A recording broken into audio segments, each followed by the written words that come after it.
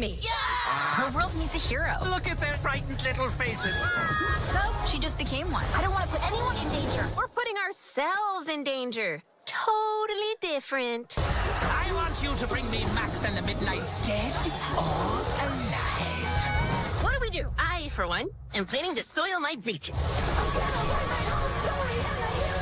Max and the Midnights, a brand new series, premieres October 30th on Nickelodeon.